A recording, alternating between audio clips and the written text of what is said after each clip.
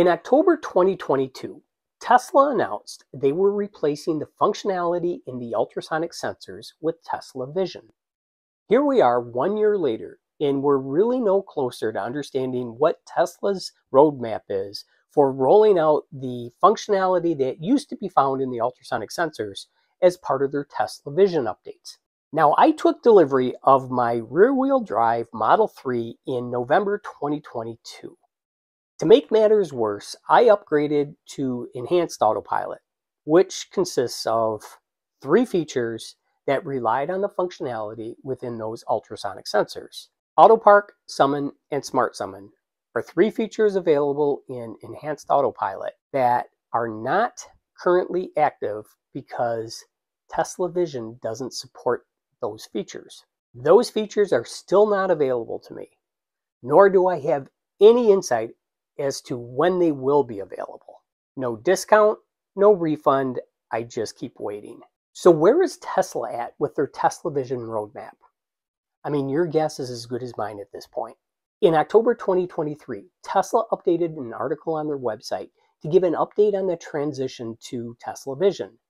That article states In 2022, we took the next step in Tesla Vision by removing ultrasonic sensors from Model 3 and Model Y for most global markets, followed by all Model S and Model X in 2023.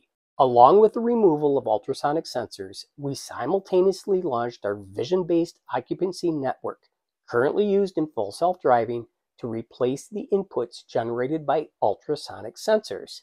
For a period of time during this transition, Tesla Vision vehicles that are not equipped with the ultrasonic sensors will be delivered with some features limited or inactive, including Auto Park, Summon, and Smart Summon.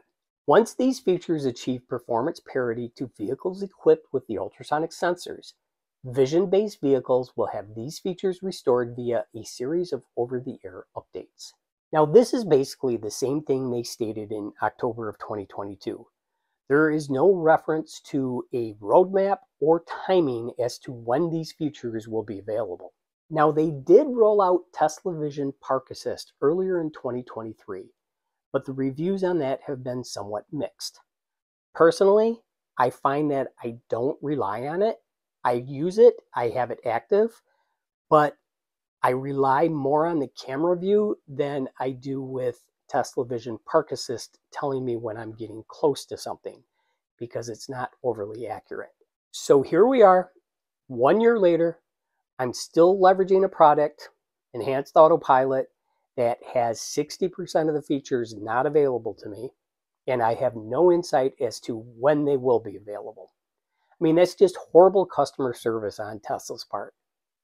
At least communicate what the plan is even if it's not accurate, give me a date on something that I can at least look forward to.